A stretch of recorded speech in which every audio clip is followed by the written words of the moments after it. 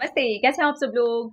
Beautiful success story लेकर के आई हूँ। ये जो सक्सेस स्टोरी है, वो है लव वाइब्रेशन की सक्सेस स्टोरी सामने वाले इंसान के साथ में इनके बहुत ज़्यादा इश्यूज़ बढ़ गए थे और इश्यूज़ इतने ज़्यादा बढ़ चुके थे कि एक टाइम के बाद इनको लगा कि सब कुछ ख़त्म कर देना ही बेहतर है।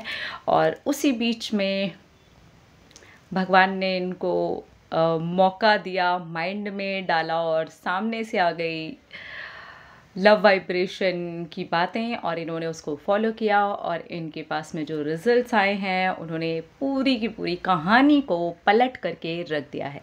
तो चलिए हम देख लेते हैं कि क्या है सक्सेस स्टोरी अच्छा इन्होंने नाम शेयर करने के लिए मना किया है। इन्होंने कहा है, मैं एक बहुत बड़ी कंपनी में जॉब चाहती थी और मैंने उसके लिए बहुत ज़्यादा मेहनत भी की थी और मुझे वहाँ पर जॉब भी लग गई। मैं अपना नाम इस कहानी में शेयर नहीं करना चाहती हूँ। मैंने देखा है बहुत सारे लोग नाम शेयर करते हैं और बहुत सारे लोग नाम शेयर नहीं करते हैं। तो मैं उनमें से हूँ जो मैं अपना नाम शेयर नहीं करना चाहती हूँ। पर मैं ये ज़रूर बताना चाहूँगी कि मैं बजाज में काम करना चाहती थी और मैंने उस कंपनी में बहुत मेहनत से, बहुत पॉजिटिव माइंडसेट से लॉ ऑफ़ अट्रैक्शन तो मुझे आपके वीडियोस के थ्रू पता चला। लेकिन मैंने पॉजिटिव माइंड को रखते हुए और जो चीज़ें आप अभी बताते हो, वही सारी चीज़ों को जाने अनजाने में फॉलो करते हुए अपनी ड्रीम कंपनी में जॉब पाली।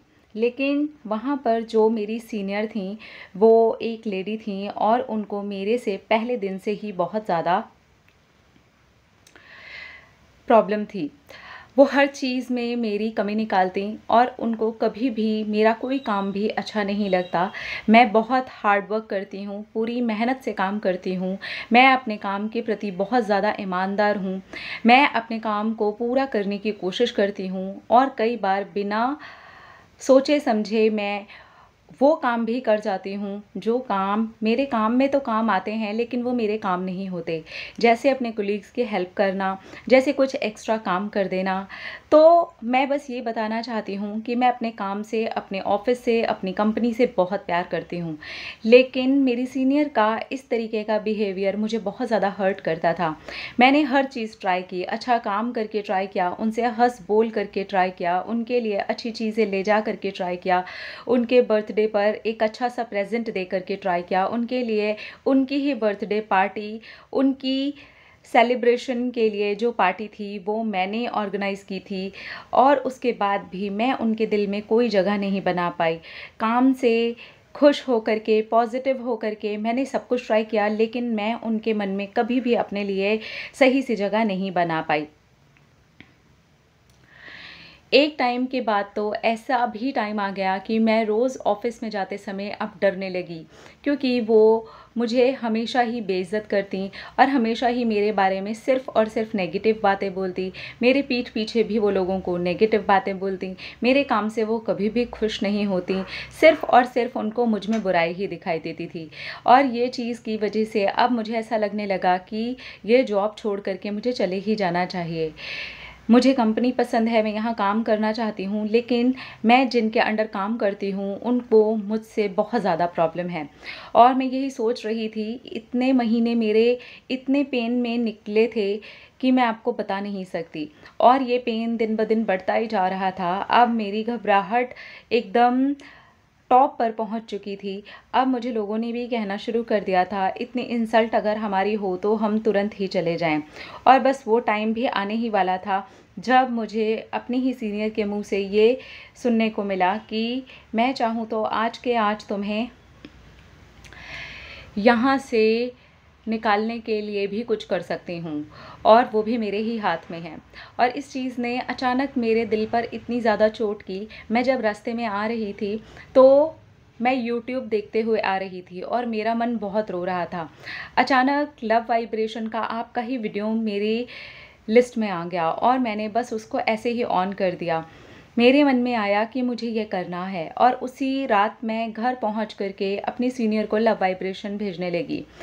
मैं अब ये सोच चुकी थी कि अगले महीने से मैं यहाँ काम नहीं करूँगी, लेकिन जब तक मैं यहाँ काम कर रही हूँ, मैं अपनी सीनियर को लव वाइब्रेशन ज़रूर भेजूँगी।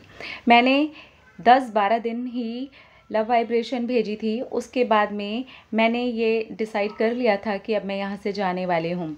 लेकिन मेरी ही सीनियर मेरे पास में आई और उन्होंने मेरा हाथ पकड़ा और कहा कि, सॉरी, मैंने तुम्हारे साथ में बहुत ही बुरा बिहेव किया है। कभी भी तुम्हारे काम को अप्रिशिएट नहीं किया है। तुमने बहुत ज़्यादा ट्राई किया है और अब मुझे पता चला है कि तुम यहाँ से जाना चाहती हो और अगले महीने में ही तुम छोड़ करके जाना चाहती हो, तुमने ये मुझे ना बता करके अपने फ्रेंड्स को बताया है। मेरे मन में ये बात अब घर करने लगी थी कि मैंने तुम्हारे साथ इतना बुरा बिहेव किया है। शायद इस वजह से तुम अपनी लगी लगाई नौकरी छोड़ करके जाना चाहती हो। उन तक मेरे मन की बात पहुँच गई और उन्होंने सामने से आ करके मुझे सॉरी बोला। ये लव वाइब्रेशन के तीन चार दिन अपने आप ही छूट जाने के बाद अचानक हुआ।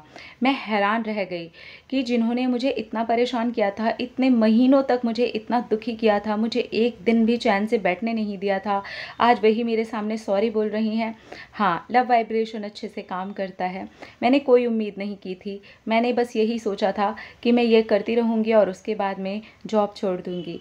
मेरी कोई उम्मीद पर भी लॉ ऑफ़ अट्रैक्शन और आपके लव वाइब्रेशन ने काम कर ही दिया।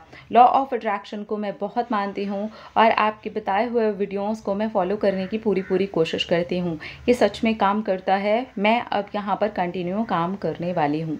Thank you universe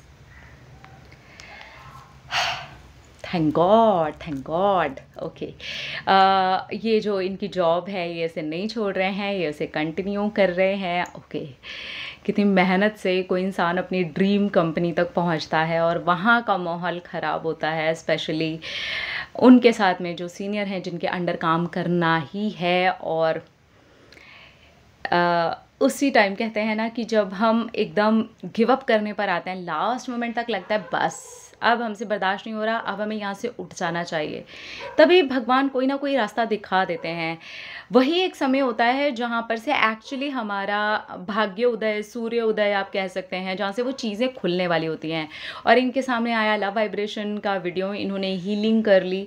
जो भी इनके मन की बातें थी, जो भी चीज़ें थी, वो सारी चीज़ें हो गई और तीन से चार दिन का गैप आया, इन्होंने लव वाइब्रेशन पूरे इक्कीस दिन भी नहीं भेजा है, दस, ग्यारह, बारह दिन भेजा है और उसके बाद में छोड़ दिया है। तीन से चार दिन के बाद में ही सीनियर ने आ करके इनसे खुद सॉरी बोला है और इनका उनके साथ में जो रिश्ता था, उनके साथ में जो बातें थी, वो क्लियर हो गई। अब वो जो मैटर था, जो नेगेटिव था, वो पूरी तरीके से सॉल्व हो गया और ये अपनी जॉब अभी वहाँ पर कंटिन्यू कर रहे हैं। तो अब हम बात करते हैं थोड़ी सी लव वाइब्रेशन की। देखिए लव वाइब्रेशन एक हीलिंग प्रोसेस है। ये हील करता है। अब अगर ये ये करते ना ये ध्यान दे रहे हैं, क्या उनके अंदर कोई चेंज आया? मैं इतने दिन से कर रही हूँ, कोई चेंज नहीं आया। ये तो ऐसे काम ही नहीं कर रहा। मुझे तो फिर जाना ही पड़ेगा शायद। अब मेरे पास टाइम नहीं है। मैंने एक महीना डिसाइड किया है। तीस दिन होने वाले हैं। मुझे तो यहाँ से भी जाना ही पड़ेगा। उनके अंदर तो कोई चेंज नहीं आया। तो ये वर्क नहीं करता। क्योंकि ये कंटिन्यू रिज़ल्ट ही चेक कर रहे हैं। लेकिन उन्होंने ऐसा कुछ नहीं किया। इन्होंने ये डिसाइड कर लिया कि मैं चली जाऊँगी यहाँ से एक महीने के बाद। ठीक है, मैं इस चीज़ को करके देखती हूँ। मुझे इसको एक ट्राई देना है, बस रिलैक्स। और इसके बाद में इन्होंने इसको किया, तब भी मन ये पक्का करके रखा हुआ था कि मुझे जाना ही है और उसी बीच में मेराकल हो गया। तो लव वाइब्रेशन इस तरीके से काम करता है। बहुत सारे लोग ऐसा करते हैं। वो लव वाइब्रेशन भेजते हैं, एक महीने, दो महीने, तीन महीने और उसके बाद में वो चेक भी करते रहते हैं। आप सिर्फ़ ट्वेंटी वन डेज़ भेजिए, एक महीना भेजिए, दो महीने भेजिए, जब तक आपको मन लगता है, आपको ऐसा लगता है, नहीं, मुझे अच्छा लग रहा है, मुझे हल्का फील हो रहा है, अब धीरे धीरे स्टार्ट हो चुका है। तब तक आप भेजिए। लेकिन आप रिज़ल्ट चेक मत कीजिए, आपको नहीं पता, आपकी सोच से भी पहले आपको रिज़ल्ट आ सकता है। तो प्लीज़ उसको छोड़ना सीखिए लेट गो करना सीखिए, उसके बाद में देखिए कि रिज़ल्ट कितनी जल्दी आपके पास में आ जाएगा। अपने अपना रखिए ख्याल अपने आपसे कीजिए, ढेर सारा प्यार, ताकि आप अट्रैक्ट करिए। ढेर सारा प्यार लव यू ऑल टाटा।